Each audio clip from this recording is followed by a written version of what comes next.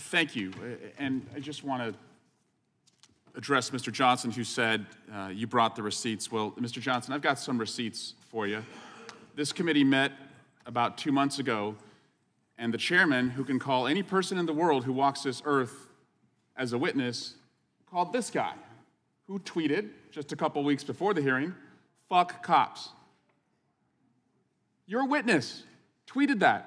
Not one of you disavowed that guy. Not one of you said that was inappropriate. I was stunned that you call yourself a pro police party and you bring a witness before us that says, fuck cops. I don't believe in that, but I thought if you didn't believe in that, you would have taken the opportunity to say it. But no, not only did you not disavow it, you invited the guy here in Congress to be your witness.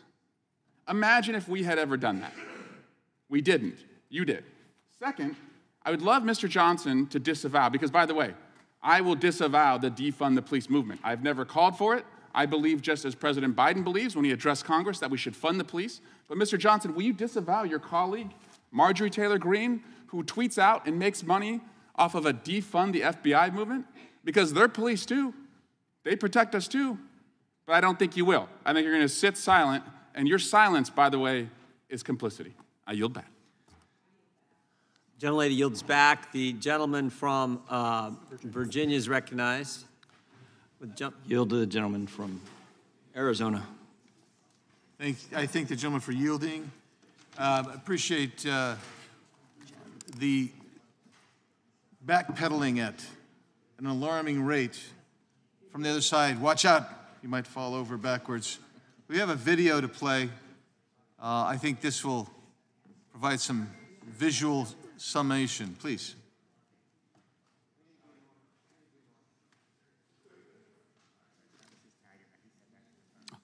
And the police has to happen. We need to defund the police. Mayor Eric Garcetti saying take some of the money from policing, about $150 million. I applaud Eric Garcetti for doing what he's done. But we need to completely dismantle the Minneapolis Police Department. It is outdated, it is wrong headed thinking to think that the only way you're going to get communities to be safe is to put more police officers on the street. So, yes, defund your butts. Defund you. Yes, I support the reallocation of resources uh, from NYPD. We will be moving funding from the NYPD. Yes, I support the defund movement. I'm for responsible reallocation of resources and defund the police. I think you do all those other things, you don't need all the money that's going to the police department. So yeah, I mean the spirit of it, I, I, I do support that. Yeah, and you know, a lot of us were asked if we could imagine a future without police back in 2017 when we were running for office. And I answered yes to that question. We are going to reduce funding in the police department and redirect that money. We propose to redirect over $7 million from the police bureau. The, the police department here in Minneapolis needs to be dismantled and we need to start anew. In some necessary cases, completely dismantling those police forces. Police departments uh, are taking a sizable uh, amount of the budget of a lot of municipalities and, and other entities.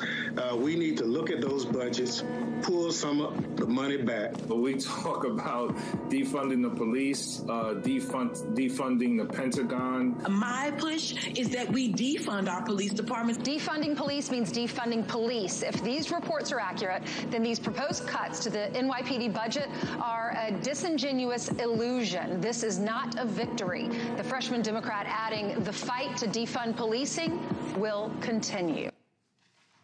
Mr. Chairman, um, I also have several articles that I would like to submit for the record. Instead of reading all the titles, I'll just provide those to you if that's okay. Without objection. And I'll yield back to the gentleman from Virginia, Mr. Cline. Would gentleman yield?